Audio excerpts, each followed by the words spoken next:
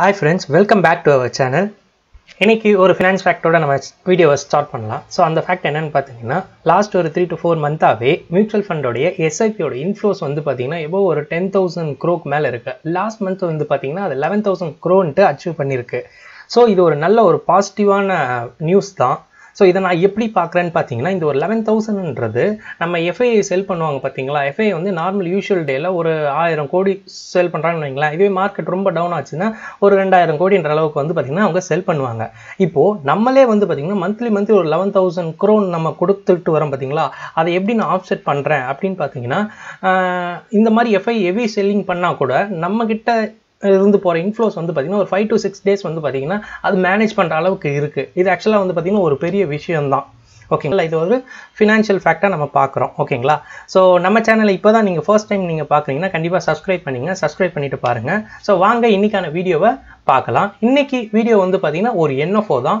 நாவி ஏஎம்சிலேருந்து announce பண்ணப்பட்டிருக்க இந்த Navi Nifty mid cap one fifty index ஃபண்டை பற்றி தான் இன்றைக்கி நம்ம பார்க்க போகிறோம் அண்ட் கூடுதலாக இன்னொரு ஒரு விஷயம் இந்த நாவி ஏஎம்சி வந்து பார்த்தீங்கன்னா வேன்கார்டு கம்பெனியை வந்து பார்த்தீங்கன்னா ஃபாலோ பண்ணுறாங்களா அப்படின்ட்டு எனக்கு ஒரு டவுட் வந்திருக்கு. ஏன்னு பார்த்தீங்கன்னா வேன்கார்டு வந்து ஆக்டிவ் மியூச்சுவல் ஃபண்ட்ஸ் அதிகமாக என்கரேஜ் பண்ணாமல் பேசிவ் மியூச்சுவல் ஃபண்ட்ஸை அதிகமாக வந்து பார்த்திங்கன்னா என்கரேஜ் பண்ணி வளர்ந்த கம்பெனி தான் அது. சேம் ரூட்டை இவங்க ஃபாலோ பண்ணுற மாதிரி எனக்கு தெரியுது.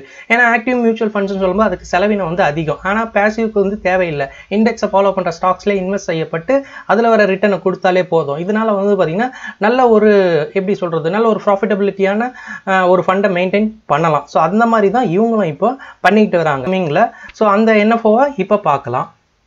ஃபர்ஸ்ட் வந்து பார்த்தீங்கன்னா இந்த ஃபண்டோட ஹைலைட்ஸ் பார்த்துடலாம் ஃபண்டோட நேம் ஆல்ரெடி சொல்லிட்டேன். Navi Nifty mid cap one fifty index ஃபண்டுன்றது and ஃபண்டோட டைப் வந்து பார்த்தீங்கன்னா பேசிவ் ஃபண்டு தான். ஏன்னா இண்டெக்ஸில் முதலீடு செய்யப்படும். அண்ட் என்ன ஃபோர் ஸ்டார்ட் டேட் வந்து பார்த்தீங்கன்னா twenty first February twenty twenty two so இது வந்து பார்த்தீங்கன்னா கம்மிங் மண்டே வந்து பார்த்தீங்கன்னா என்எஃப்ஓ ஸ்டார்ட் ஆகுது? அண்ட் என் டேட் பார்த்தீங்கன்னா செகண்ட் மார்ச் வந்து பார்த்தீங்கன்னா என் டேட் ஆகுது. அண்ட் இது இந்த என்எஃப்ஓ ப்ரைஸ் வந்து பார்த்தீங்கன்னா பத்து ரூபாவில் கொடுக்குறாங்க. ஏன்னா என்எஃப்ஓ வரதுனால அது ஆஸ் யூஷுவல் வந்து பார்த்தீங்கன்னா டென் ருபீஸில் நமக்கு அவைல் ஆகுது. அண்ட் எஸ்ஐபியாகவும் ஸ்டார்ட் பண்ணிக்கலாம். அண்ட் நம்ம லம்சமாக கூட ஸ்டார்ட் பண்ணிக்கலாம். அண்ட் கூடுதலாக இந்த ஃபண்டோட அப்ஜெக்டிவ் என்ன அப்படின்னு நம்ம பார்க்கணும். So Nifty mid cap one fifty நம்ம சொல்லும்போது இது நிஃப்டியில் இருக்க மிட் கேப் ஒன் ஃபிஃப்டி ஸ்டாக்ஸில் இது இன்வெஸ்ட் செய்யப்படும். இதோட பேஸ்கெட் எந்த மாதிரி இருக்குன்னு பார்த்தீங்கன்னா இன்ஜினியரிங் செக்டார் இருக்கும். அண்ட் கேஸ் இருக்கும் அண்ட் ஹெல்த் ஹெல்த் செக்டர் இருக்கும் ஃபினான்ஷியல் இருக்கும் பேங்கிங் இருக்கும் அண்ட் ஐடி இந்த மாதிரி ஒரு மிக்சடான ஒரு பேஸ்கெட் தான் இந்த பேஸ்கெட் ஸோ இந்த பேஸ்கெட்டில் வந்து பார்த்திங்கன்னா நம்ம ஃபண்டை முதலீடு பண்ணி அதில் நமக்கு ரிட்டனை எடுத்து கொடுப்பாங்க. அதுதான் இங்கே இவங்க ஃபண்ட் அப்ஜெக்டிவாக அண்ட் இந்த ஃபண்டோட டாப் ஹோல்டிங்ஸை நம்ம பார்க்கணும்னு பார்த்தீங்கன்னா ஃபர்ஸ்ட் ஸ்டாக்கு அதானி டோட்டல் கேஸ்ன்னு சொல்கிற அதானி குரூப்போட கம்பெனி இருக்குது அதை ஃபாலோ பண்ணி டாடா பவர் கம்பெனி இருக்குது எஸ்ஆர்எஃப் இருக்குது மைண்ட்ரி ஜி என்டர்டைன்மெண்ட் சொல்லிட்டு இந்த மாதிரி நமக்கு வந்து பார்த்தீங்கன்னா டாப் ஹோல்டிங்ஸாக இந்த மிட் கேப்பில் இருந்துக்கிட்டு வருது. இது அருமையான ஒரு மிட் கேப் தான்.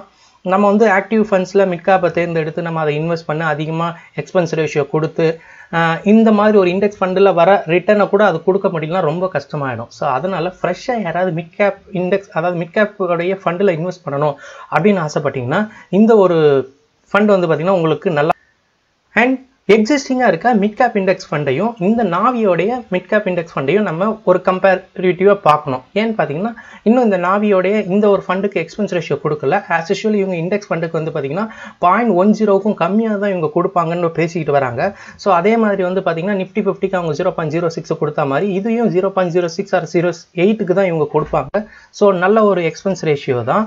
அண்ட் இதை கம்பேர் பண்ணணும் அப்படின்னு பார்த்தீங்கன்னா ஆல்ரெடி மார்க்கெட்டில் வந்து Motilal ஆஸ்வாலோடைய Nifty mid cap one fifty fund இருக்குது and ஐசிஐசிஐடைய mid cap one fifty fund இருக்குது அதை ஃபாலோ பண்ணி ஆதித்யா பிர்லாவும் வச்சுருக்காங்க. ஆனால் அவங்களோட எக்ஸ்பென்ஸ் ரேஷியோ ஆல்ரெடி என்னவா இருக்குன்னு பார்த்தீங்கன்னா ஒரு ஏர் ஆன் அண்ட் ஆவரேஜாக ஒரு point zero point two one அது வந்து பார்த்தீங்கன்னா மோதிலால் ஆஸ்வாலுக்கும் அதை ஃபாலோ பண்ணி point two zero ஐசிஐசிக்கும் and point two nine percent வந்து பார்த்தீங்கன்னா ஆதித்யா பிர்லாவும் வச்சுருக்காங்க. ஸோ சேம் ஃபண்டு தான் சேம் அலோகேஷன் தான் பட் ஏஎம்சி ஏஎம்சியாக வந்து பார்த்திங்கன்னா மாறுபடுது இந்த எக்ஸ்பென்ஸ் ரேஷியோ ஏன்னா எக்ஸ்பென்ஸ் ரேஷியோ நம்ம ஃபண்டு நம்ம மியூச்சுவல் ஃபண்டில் இன்வெஸ்ட் பண்ணும்போது எக்ஸ்பென்ஸ் ரேஷியோ நம்ம பார்த்து தான் நம்ம இன்வெஸ்ட் பண்ணணும். ஓகேங்களா கன்க்ளூஷனுக்கு வந்தாச்சு. அதாவது இந்த நாவியுடைய Nifty midcap one fifty index ஃபண்டில் இன்வெஸ்ட் பண்ணலாமா அப்படின்ட்டு ஒரு கன்க்ளூஷனுக்கு வந்தாச்சு. நான் ஆல்ரெடி சொல்லியிருந்தேன் நாவி வந்து பார்த்தீங்கன்னா இப்போது கம்மிங் அதாவது ஃப்யூச்சரில் வந்து பார்த்திங்கன்னா இந்த ஒரு ஏஎம்சி நல்ல ஒரு வ- வளர்ந்த ஒரு ஏஎம்சியாக மாறதுக்கு ரொம்பவே வந்து பார்த்திங்கன்னா பாசிபிலிட்டிஸ் இருக்குது ஏன்னு பார்த்தீங்கன்னா இவங்க ஆல்ரெடி வந்து பார்த்தீங்கன்னா வேன்கார்டுன்னு சொல்கிற இண்டெக்ஸ் ஃபண்டோடைய ஜெயின்ட்டுன்னு சொல்கிற ஒரு கம்பெனியை ஃபாலோ பண்ணிட்டு போகிற மாதிரியே இருக்குது இவங்களுடைய அந்த ஆக்டிவிட்டீஸ்லாம் ஸோ இந்த ஒரு கம்பெனி கம்பெனியும் வளர்ற பட்சத்தில் நம்மளோட ஃபண்டும் வந்து பார்த்திங்கன்னா நல்ல ஒரு ரிட்டர்ன்ஸை கொடுக்கும். அண்ட் கூடுதலாக வந்து பார்த்திங்கன்னா இந்த ஒரு ஃபண்டு அதாவது இந்த ஒரு மிட் கேப் ரேஞ்சில் இப்போ நீங்கள் ஒரு ஆக்டிவ் ஃபண்டை நீங்கள் இன்வெஸ்ட் பண்ண போகிறீங்க அப்படின்னு நீங்கள் ஒரு ஐடியா இருந்துச்சுன்னா கண்டிப்பாக நீங்கள் இந்த மாதிரி ஒரு மிட் கேப் இண்டெக்ஸ் ஃபண்டையும் நீங்கள் வந்து பார்த்தீங்கன்னா கவனத்திற்கு கொள்ளலாம். ஏன்னு பார்த்தீங்கன்னா ஆல்ரெடி நம்ம சொல்லியிருந்தோம் ஆக்டிவ் ஃபண்டுக்கு வந்து பார்த்தீங்கன்னா செலவினங்கள் அதிகம். அந்த செலவினங்கள்லாம் வந்து பார்த்திங்கன்னா முதலீட்டாளர்கள் இன்வெஸ்ட் செய்ய பண்ணுற அந்த ஃபண்டில் தான் போயிட்டு அவங்க வந்து பார்த்திங்கன்னா எடுப்பாங்க. எக்ஸ்பென்ஸ் ரேஷியோவாக இருக்கட்டும். ஸோ இந்த மாதிரின்னு சொல்லிட்டு அவங்களுடைய பண்ண பணத்துலேருந்து தான் எடுப்பாங்க. ஆனால் இண்டெக்ஸ் ஃபண்டுன்னு சொல்லும்போது செலவினம் ரொம்ப ரொம்ப கம்மி. ஓகேங்களா?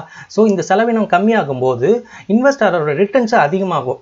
ஸோ அதனால் நீங்கள் மிட் கேப் ஃபண்டில் இன்வெஸ்ட் பண்ணுற மாதிரி இருந்தீங்கன்னா கண்டிப்பாக இதையும் நீங்கள் வந்து பார்த்தீங்கன்னா ஒரு சாய்ஸாக எடுத்து உங்கள் ஃபினான்ஷியல் அட்வைசர் கிட்ட நீங்கள் கேட்டு நீங்கள் முதலீடு செய்யலாம். ஸோ இந்த ஒரு வீடியோ எப்படி இருந்தது? உங்களுக்கு பிடிச்சிருந்தா லைக்கையும் அண்ட் கமெண்ட்ஸையும் நீங்கள் உங்கள் பதிவில் நீங்கள் பதிவு பண்ணலாம்.